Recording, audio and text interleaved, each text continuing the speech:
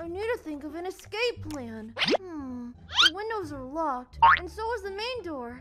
Not to mention that Kacchan lives on a high floor and I don't currently have opposable thumbs. what the hell am I supposed to do with a green bunny? He's back! have mercy! Why are you bleeding, furball? Later. It stopped just as suddenly as it started. There's seriously something wrong with you. You know that? What am I going to do with you? Hmm? What have I gotten myself into? I need to escape by morning before I turn back. Hmm? This is my chance. I've got to get out of here before the sun rises.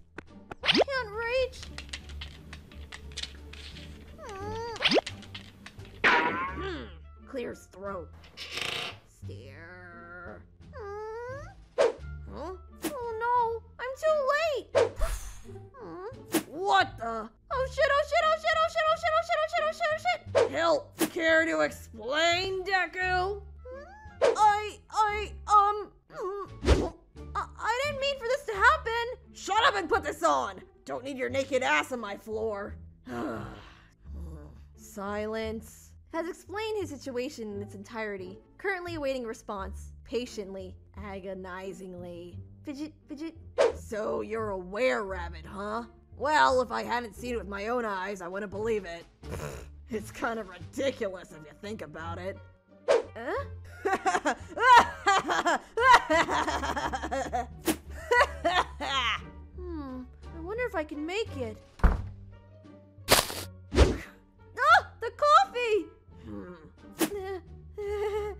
I see you eyeing the door, Deku. That's kind of rude, don't you think? um, no? You're lying. Hey, Huh? The ears and tail. why didn't they vanish when you turned back? Release. Well, you see. They'll disappear in an hour or two. The transformation doesn't happen all at once. Bummer. Oi. What happened to your clothes when you transformed? Reach. Oh. Um. Well, about that.